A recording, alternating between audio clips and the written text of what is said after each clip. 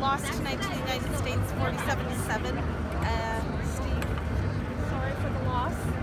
Can you give me your synopsis of what happened in this game? Um, we didn't start till there was uh, the second half. You know, we came out, we were, we seemed very timid and, and uh, unsure of ourselves, and and you know, unfortunately, when you're playing a very good team, they're gonna make plays on you, and they kept making plays, and then instead of us just digging our heels in, kept retreating, and and then uh, you know, it's 40 to nothing at the end of the half, and but you know, kudos to these guys. They regrouped in the second half, and I thought we battled much better. Can you tell me a couple of the positive things that you can take away from this game regarding Team Canada?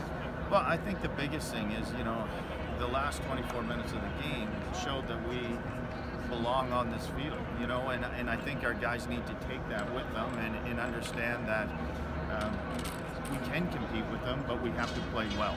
And unfortunately, that just didn't necessarily happen early. There was a, a touchdown that there was a little bit of controversy. What are your thoughts about that?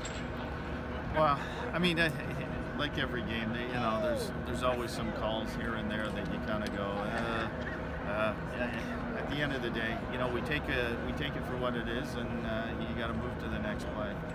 I do want to ask, since this is considered a measuring stick to, to the World Junior Championships, what are you going to do from now until July when that happens to get the team ready? Well, I think the biggest thing is making sure that we keep our bodies uh, all intact. Uh, you know, we do have the pieces here that are good pieces, and uh, I'm, I'm confident in the players that we have. And now it's just a matter of, uh, you know, everybody having a good off season per se, and, and getting ready for uh, July.